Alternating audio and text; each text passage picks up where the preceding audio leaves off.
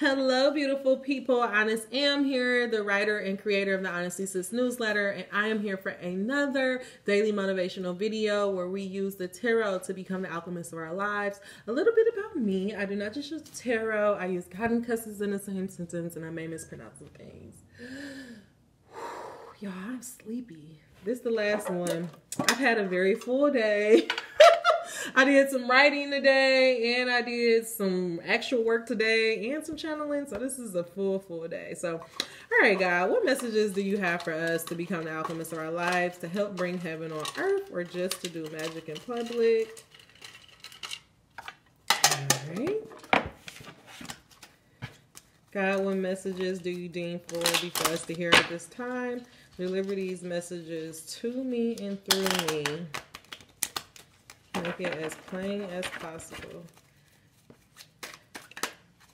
All right, so the card that came out, I'm doing something different. Ooh, I like it. I like it. Mm. I did something different. So, angel number 110, make sure you check out the description box below. There are always additional messages as well as information about me and honestlysis.com. So, the message that came out is purpose. And on this, we have literally an angel climbing up a mountain. Um, and I feel like God is asking you that what I hear right away is Are you walking in your purpose? Are you doing what you need to do in order to get yourself closer to your dreams? The other message that came out is connect to the blue flame, which is the light of pure love within you. And so when I hear that purpose with the blue flame, with wisdom, it's also a card that came out. See your adversity as opportunities to expand your spiritual light. Um, I feel like what God is trying to ask you is that um, are you doing everything you need to do to bring yourself in alignment with your purpose? And if not, what is keeping you from doing it? For some reason, I feel like fear is holding you back. And I feel like what God is saying, don't allow fear to hold you back. Really connect to love. Really allow yourself to experience this uh the blessing that he is trying to bring to you. What i realize is that the mind is nothing but a child. Angel number 218 um it's really nothing but a storage container. You can honestly look at your mind like google. Um when you are doing something new, your mind has no information to go from it. Like it has no information to pull from. And so just like if it was back in those cave days, it brings out danger, danger because they don't have any information to go on. Um, and so, what God is saying, your job is to just override that fear and to just feel the fear and do it anyway. Like, nobody's saying that, you know, you're not supposed to be scared. Everybody feels fear, like it's natural, but what you have to do is feel the fear and do it anyway. So, God, what is our energy towards walking in our purpose and making decisions from a place of love? How can we become um, more in alignment with our life purpose and the blue flame of love? Make it as plain as possible. Yeah, I pray. I should. I'm gonna make this video quick, y'all. I'm tired. I gotta stop trying to push myself. I be pushing myself too too hard. Angel number three three three. Um, so the two messages that came out, um, the two cards that came out, three actually, which are very amazing cards, is the Empress. And the Empress came out, and the Empress actually, all of these cards kind of came out reversed, but I don't know if the deck was reversed or if whatever. But the Empress, the Empress upright speaks about um, bringing life into the world, and you know us as gods, like we, you know, we are gods, right? So it is our job to actually create. And honestly, what I realize is that that is how God expresses himself. Like the God can't, you know, like God is in everything. And so if God is in everything, which if God is in everything, the only way that he can express himself, like he can't just pop up in his pen or just pop up right here in this video, like, what up, I'm God. Because we'd be like, oh my God, who the fuck is that? You know, like we we wouldn't we if, if God popped up in front of you, you probably like, this ain't God. like you just wouldn't believe it.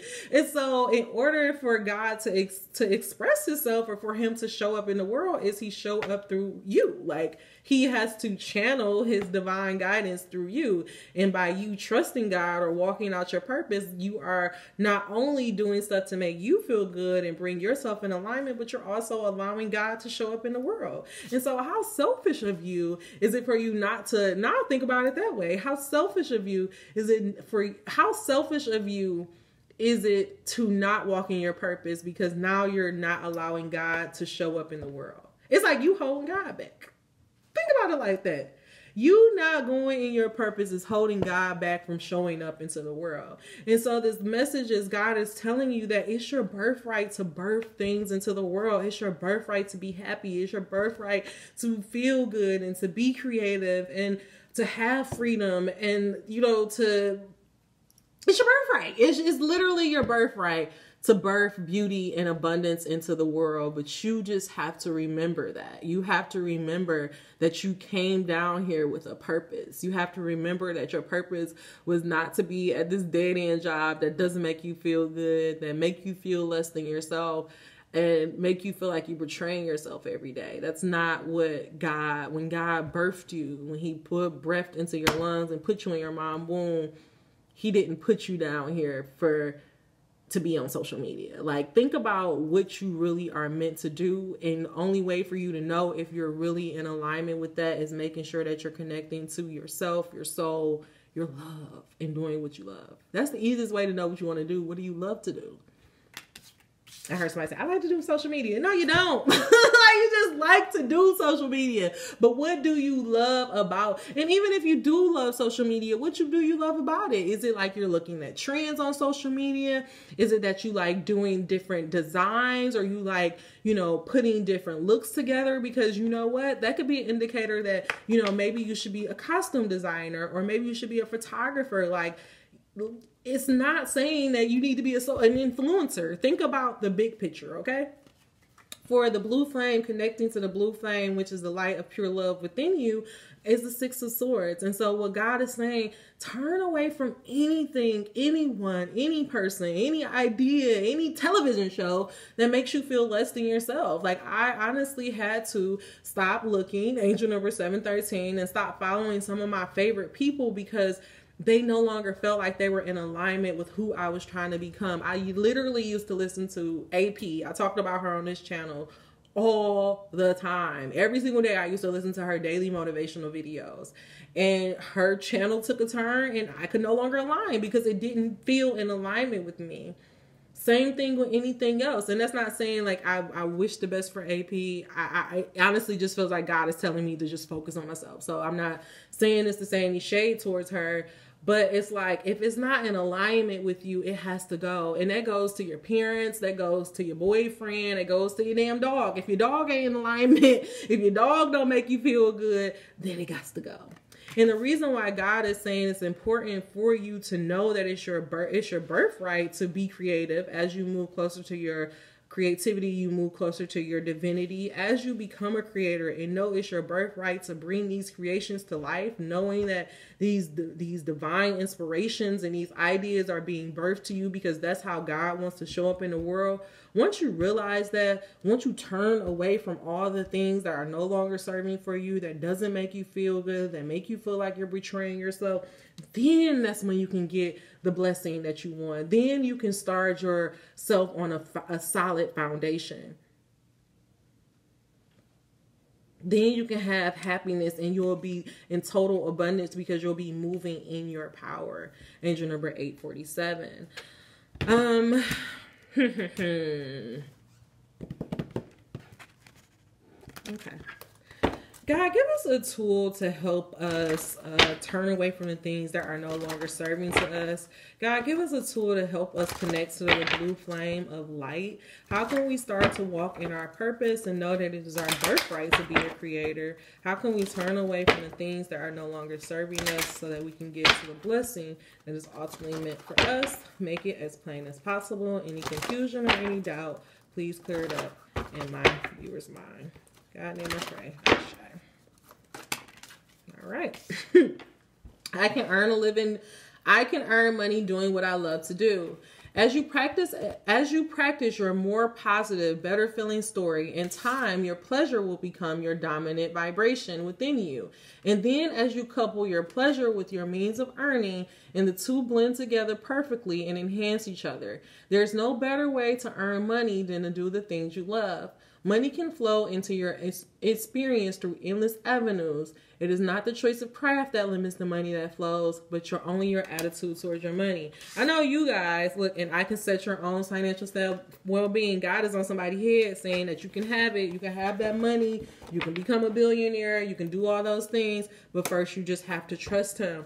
And um, I know, like we, it's like a joke that talks about like the TV hunters and all that stuff, and they, you know, be like, we got a budget of eighty million dollars, and she's like a dog walker, and he's a paint dryer, and that's just because white people honestly they they feel worthy. Like they never had to worry about it. Like they never had to have this i had to do things to survive. And so they can feel like they want to be an artist. They can feel like they want you know and maybe not even white people but people of privilege people who come from money they don't have to worry about money. So they don't have any limits on what they can do. But people who don't come from money feel like well i gotta make money. I gotta make something of myself. And so then we feel like we have to do certain things in order to get money. And, and god is saying angel number 1104 that is not necessary. All you need to do is make up your mind. Will smith have a saying make a choice. Once you make up your mind on how you want to show up in the world how you want to birth your reality or you want your life to go how you want to earn money let go of turn away from everything that makes you feel like that's not possible and god will bring it about all right god final message god clarify this message of purpose okay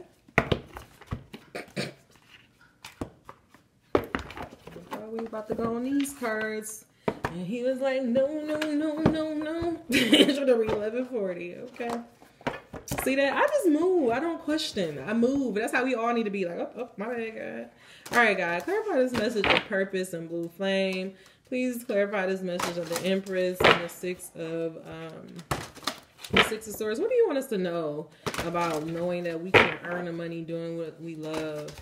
What do you want us to know about creating solid foundations in our life and setting our own standards for financial well-being? God, make it as plain as possible. As plain as possible. What are you trying to get us to know, God? Any doubt or confusion, please clarify on this next card.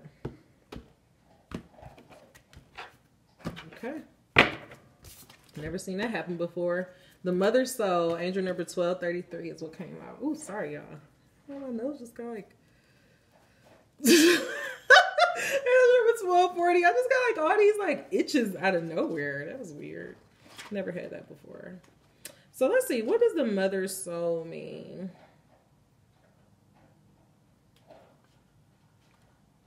Okay.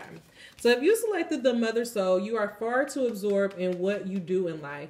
You are mission driven. Your way of pushing in life drains your energy. This draining and pushing is an escape from other parts of your life.